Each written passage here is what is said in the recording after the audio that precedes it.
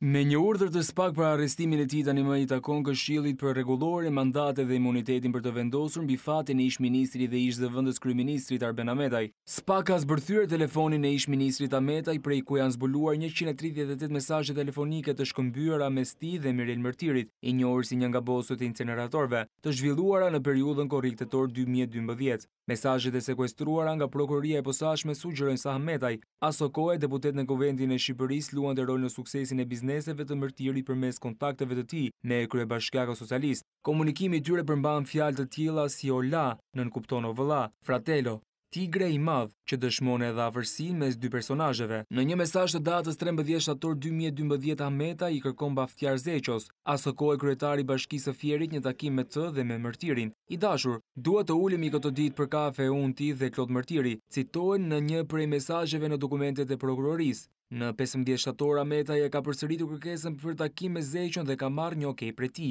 Roli i Ahmetaj në ecurinë e bizneseve të Mërtirit dokumentohet sipas Prokurorisë së Posaçme edhe në materialet e përfituara nga kompjuteri i Klodian Zotos ku janë gjetur të ruajtura mesazhe të shkëmbyera mes tij dhe Mërtirit. Një mesazh i datës katërmbëdhjetë qershor dy mijë e dymbëdhjetë citon se Ahmetaj mbahej në dijeni të një takimi mes Mërtirit dhe Fadil Nasufit, kryetar i Bashkisë së Beratit për vitet dy mijë e tre dy mijë e pesëmbëdhjetë. Mbarova punë, po nisem për në Tiranë, kalofsh mirë, i shkruan Mërtiri Ahmetajt, ndërsa ky i përgjigjet, E di, më tha Nasufi. Mesazhet telefonike në duart e spak tregojnë se Ahmetaj vihet në dijeni për procedurat dhe vështirësitë me të cilat përballej Mërtiri, po aq sa edhe për sukseset e tij. Më trembëdhjetë maj dy mijë e dymbëdhjetë në një komunikim me Mërtirin, Ahmetaj e pyet se çfarë u bë në QKR. Mbaroi me sukses! Urime Partisë Socialiste për Met, i shkruan Mërtiri.